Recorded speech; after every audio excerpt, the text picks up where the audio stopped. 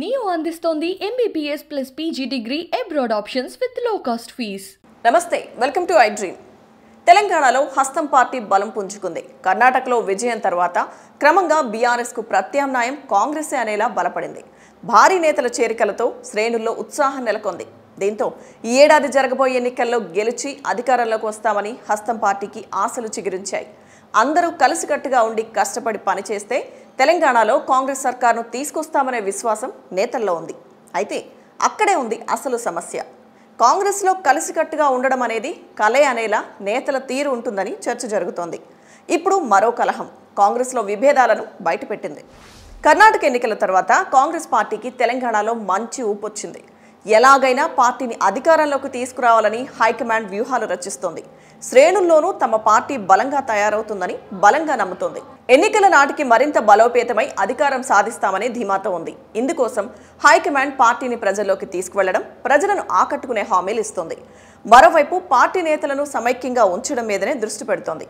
మొన్నటికి మొన్న ఢిల్లీ నుంచి పార్టీ పెద్దలొచ్చి ఎన్నికల సన్నాహక సమావేశం నిర్వహించారు.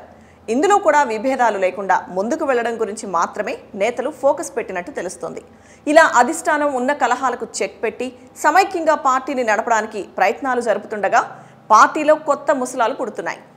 జూబ్లీహిల్స్ నియోజకవర్గం నుంచి రాబోయే ఎన్నికల్లో తాను పోటీ చేస్తానంటూ మాజీ ఎంపీ అజహరుద్దీన్ ప్రకటించడం ఆ నియోజకవర్గంలోని మూడు డివిజన్లలో ఆయన పర్యటించడం ఇప్పుడు వివాదంగా మారింది.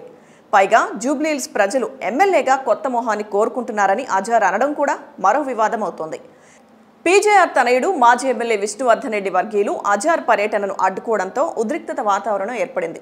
ఈ క్రమంలో తోపులాటలు జరిగాయి. ఇప్పటికే జూబ్లీహిల్స్ నియోజకవర్గానికి తానే అభ్యర్థిని అనుకుంటున్న విష్ణువర్ధన్ రెడ్డికి ఇప్పుడు ఇంటి పోరు ఎదురైంది.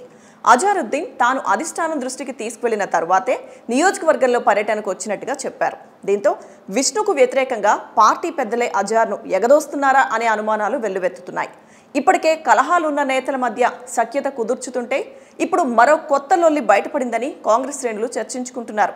ఈ విభేదాలకు హైకమాండ్ ఏ దారి చూపిస్తుందో వేచి చూడాలి.